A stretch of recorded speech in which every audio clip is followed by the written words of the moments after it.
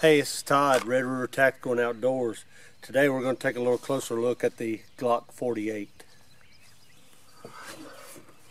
Alright, so here we are. And what we got here, we got the Glock 48 and the Glock 19. Uh, the Glock, Glock 19 is just here for size comparison. As you can see, the Glock 48 has the same print lengthwise as the Glock 19. Uh, the only difference is the Glock 48 is a single stack. So we're going to move this Glock 19 out of the way. And we're going to talk about the Glock 48. Uh, when the Glock 48 came out, uh, my first impressions of it was, uh, why would you want this Glock gun? Uh, you got a Glock 19, it's got 17 rounds or 15 rounds plus one. And the Glock 48 is 10 plus one. So why would you even want it? Uh, a buddy of mine brought, bought one and brought it down to the range and I shot it. And the first time I put it in my hands uh, I thought that's why you would want this gun. Because this gun feels perfect in the hand. Like I said it's a single stack so you can see that it's much narrower than the, the Glock 19 uh, and it just feels with that it just feels really good in the hand.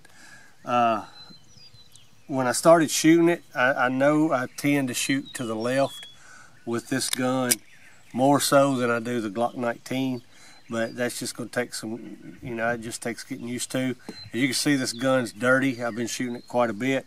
This review is long overdue. I've probably got already a little over 2,000 rounds through this gun so I've given a really good workout uh, before this review.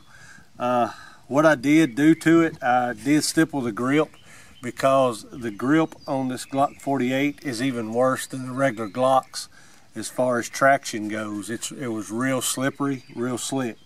So I did uh, I did stipple that grip on both sides and stippled a place up here for my finger and thumb to go so my thumb can get traction on there. Uh, that helps a lot too when I'm shooting. It helps control my shooting left because this thumb is actually pushing in on the gun and down to control recoil. So that helps a lot there. I did replace the Glock trigger shoe with a Suarez trigger shoe. Didn't do anything else to the trigger. The only reason I did that is because I like the Suarez trigger you can see this gun is empty.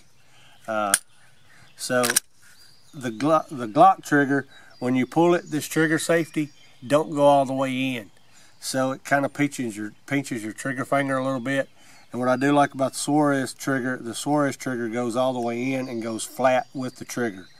And it does reduce the take up in the trigger, but everything else is the same as far as the break and the reset.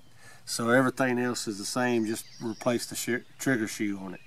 Uh, I did put Hackathorn sights on the Glock 48 and those I just ordered those for the Glock 43 and they fit right on the Glock 48. Uh, you'll see in a previous video that I've done where I put the Glock 48 slide on the Glock 43 and it shoots fine. So if you've got a 43, there's no need to buy a 43X. Just buy a 48.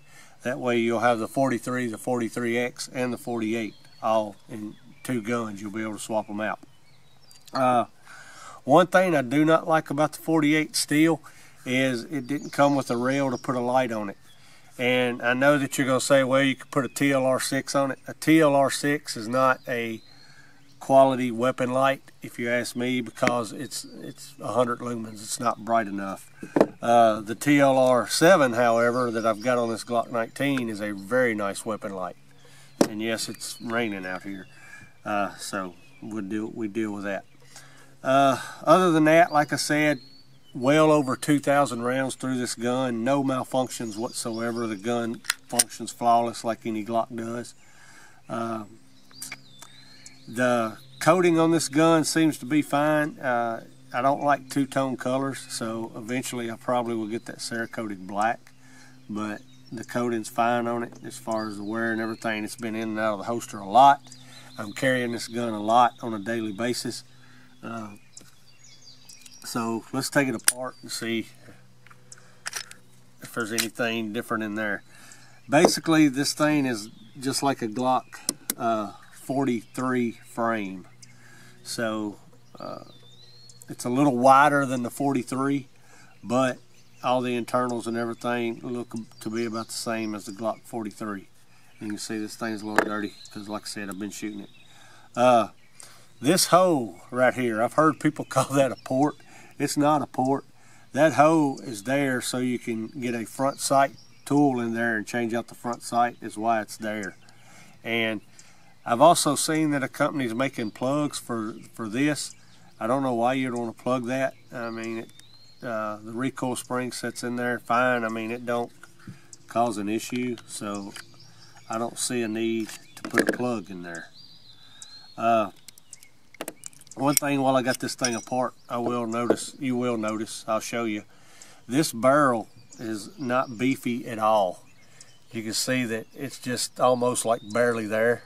The locking lugs, I guess it's adequate. Like I said, 2,000 over 2,000 rounds to it. I hadn't had any issues. But I just noticed that, that the barely, barrel is hardly there. But I guess it has to be to fit in that small of a and that narrow of a package. But uh, like I said, I I love shooting this gun. It, it, does have a little more recoil than the Glock 19. It's a little snappy for a 9 millimeter, but nothing you can't control. Excuse me. Uh, and I love shooting it. It it is not ambidextrous as far as the slide stop, slide release, whatever you want to call this. I use it as a slide release. It works fine, uh, and it's easy to get to and, and, use.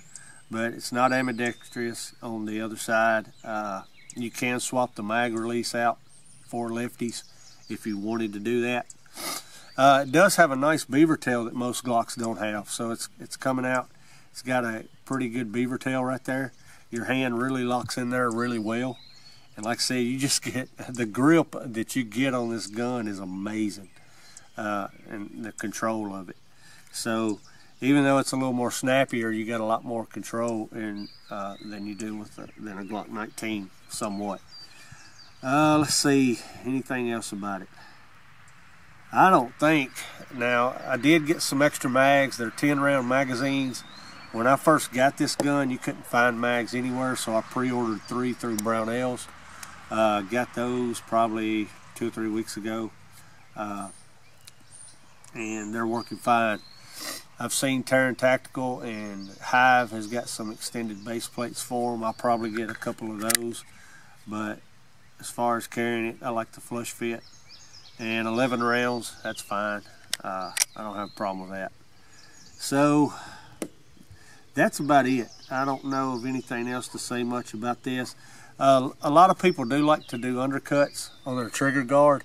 And what I have noticed about this 48, I don't know that they undercut it any more than they do the their other guns. But I noticed that that's not needed as much as on the, for example, the 19 and, and everything like that. Because it, it just feels, like I said, it feels really good right out of the box and in the hand. So yeah, this is a long overdue review on the 48 for me, uh, but I like it. I've been carrying it a lot, and I think it's a really good gun. I'm glad Glock put it out. Uh, have noticed that I went to the NRA show uh, a week or so back. I have noticed that Smith & Wesson is putting a shield out now with a 4-inch barrel on it.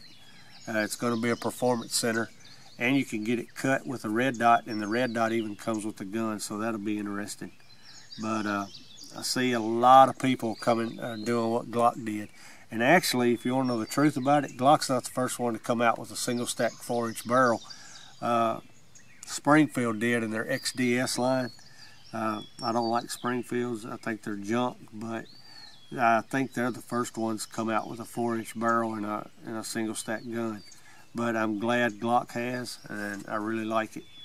And I'm sure the shields, uh, when they come, is going to be fine too. And also the Beretta APX I looked at, it's coming out in a 4-inch barrel, single stack. So it was a nice looking gun, but the trigger was horrible on it. So if you got any questions or comments, drop them in, drop them below. Uh, if you've had any experience with the 48, like it, dislike it, uh, found problems with it, leave those in the comments also. And this is Todd, Red River Tactical and Outdoor, reminding you to be safe and always be ready.